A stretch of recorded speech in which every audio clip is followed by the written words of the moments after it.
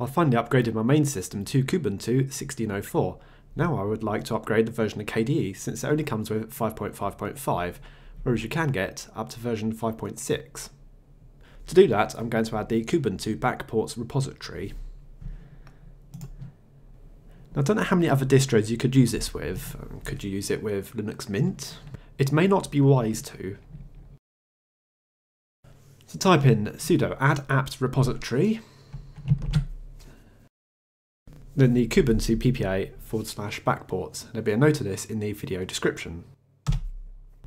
Press enter to accept. Yes, I accept. Then sudo apt update or apt get update.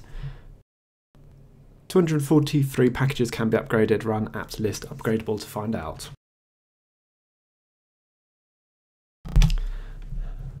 Oh yes, that's quite a list, isn't it? Now out of force of habit, I'm going to do sudo apt get dist upgrade. So 243 to upgrade, 7 new to install, 3 to remove, and 122 meg of archives needed. But after all that, we'll save 42 meg of disk space. What? So how's Plasma 5.6 smaller?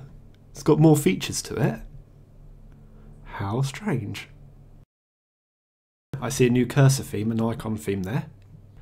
Yeah, I'm not actually so sure about this one. I think the version of the Breeze icon theme that I had in my older Plasma 4 version of Kubuntu, which I'd backported from the early version of Plasma 5, actually looks a bit nicer.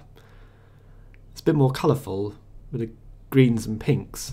This is very much a white icon theme with the occasional colouring.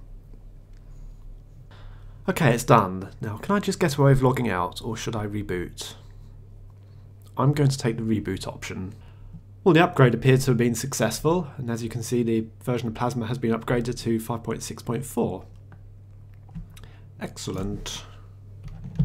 Let's try out one of the new features in Plasma 5.6. So, search for an image. Yes, and can I drag and drop that to wallpaper?